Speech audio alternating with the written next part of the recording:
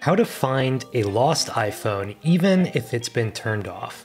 So, if your iPhone has run out of batteries after you've lost it, or if it was off when you first lost it, there's still hope in recovering it. iPhones have a built in feature called Send Last Known Location. We'll show you how to access that in the Find My app using another Apple device that's attached to the same Apple ID. And we'll show you how to find it using a web browser at iCloud.com. And then we'll also show you how to do it using someone else's iPhone. That's someone else who's not attached to your Apple ID, a friend or family member. And then finally, you can also, if you had that feature turned off, or if you never enabled Find My iPhone, then there's still some hope. We'll show you how to try to track down your lost iPhone using the Google Maps app. Okay, so let's get started with how to find a lost iPhone with a different Apple device. If you own an iPad or a Mac, or a cellular Apple Watch, then you're going to open the Find My app on that device. And here I'll demonstrate with an iPad.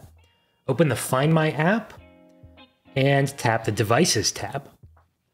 And then a map will pop up with a list of your Find My enabled devices. Select your iPhone from the list of devices and then it will show you on a map where it thinks it is. If your lost iPhone is dead, it will appear in the map as an iPhone with a black screen, and you'll see red text on the sidebar telling you when the iPhone was last um, was last detected, so what its last location was. If your iPhone is turned on, it will appear with an active, colorful home screen, and you'll see a battery icon showing in the sidebar that details how much battery life it has left. Then you can tap the directions to get Apple Maps directions to your lost iPhone's location, or you can um, tap the play sound button to help you locate your iPhone. The iPhone will play a sound. That only works obviously if the iPhone's battery is functioning.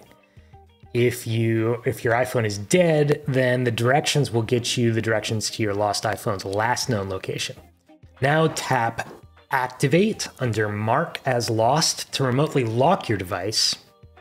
So you can mark your device as lost and that will remotely lock it so that anyone who picks it up will not be able to mess around with it. And while it's locked, it will display a message and phone number that you can enter here. And then you can toggle this notify when found switch. When you turn that on, what that means is as soon as somebody picks up the uh, phone and starts messing with it, you'll get a notification saying, hey, the phone was just found by someone. That notification obviously will only work if the iPhone's battery is functioning. If the battery is dead, then that doesn't work. Okay, option two how to find a lost iPhone with iCloud.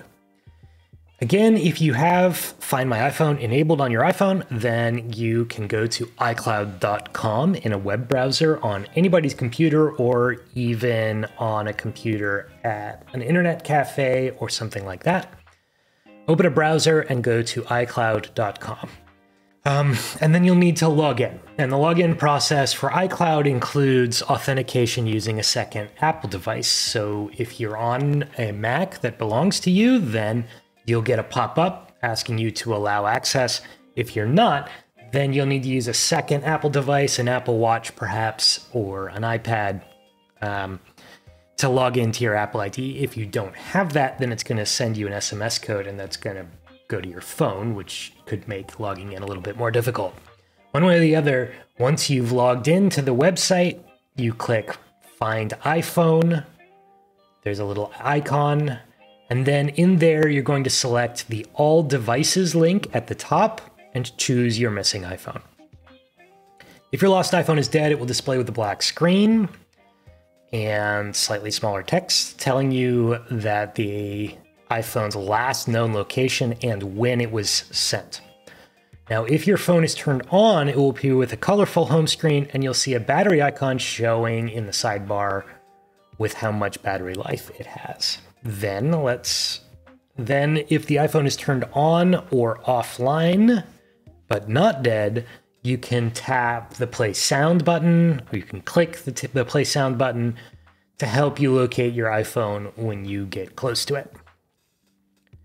Now, there is also the lost mode that you can turn on to remotely lock your device and display a custom message with a phone number where you can be reached in case someone finds your lost iPhone. And then finally, here you have the erase iPhone option. This should only be used if you think your iPhone was permanently lost or stolen by someone. Um, because it will wipe your iPhone. Now, if you have a recent iCloud backup, that's not necessarily the end of the world because restoring from an iCloud backup is pretty easy. Okay, option three, find a missing iPhone with someone else's iPhone or iPad.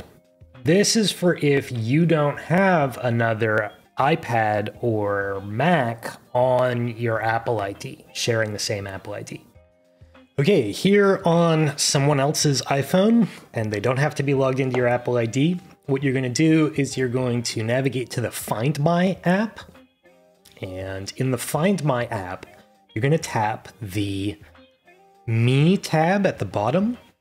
And on the Me tab, you want to scroll down and tap this blue link that says Help a Friend.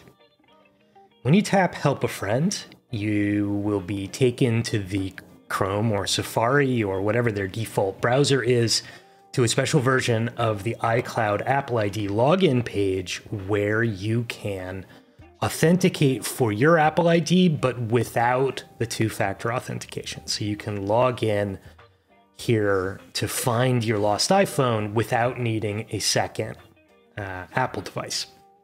So you'll need to enter your Apple ID and password. This will take a moment. Once you've got it entered, you get a list of devices attached to your Apple ID, including your iPhone. Now you can tap on your iPhone and you'll see it has the black screen indicating that it's off. Um, if the screen isn't black, that means it's on. And you'll see the last known location and you'll be able to go try to find it. So hopefully this will give you an opportunity to go looking. You'll also see here a few little controls, the same familiar ones from before.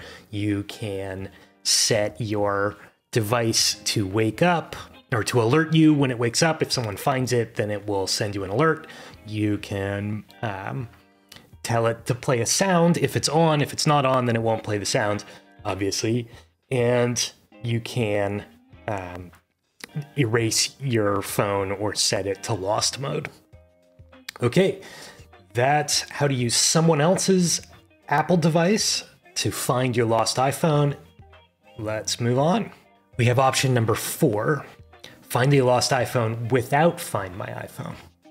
So if you don't have the Find My feature turned on, then you're not completely out of luck. You might still be able to find a lost iPhone using Google Maps. So head over to www.google.com slash maps slash timeline and make sure you're logged into your Google account. Then at that website, google.com slash maps slash timeline, you can click to check your location history if you had the Google Apps map installed on your iPhone. So you needed to have the Google Maps app installed. If you did, and you had location history stored in that app, then Google knows where your iPhone has been, and you can use that to try to track it down. And if location history was already enabled, select the date your iPhone went missing by clicking today or by clicking the drop down menus to enter the previous date. And then check your last location and go get your phone. So, this will show you um, where you were at particular times throughout your history, as long as you were sharing lo- your location history with Google. So you can use it to find landmarks that you've been to in the past, restaurants that you really liked but forgot their name, but you can also find your lost phone. So there you go. That is four different ways to find a lost iPhone, even if it's been turned off. I hope that helps you find your lost iPhone. And once again, if you think your phone's been stolen, then don't try to confront the thieves yourselves. Call the authorities. Good luck.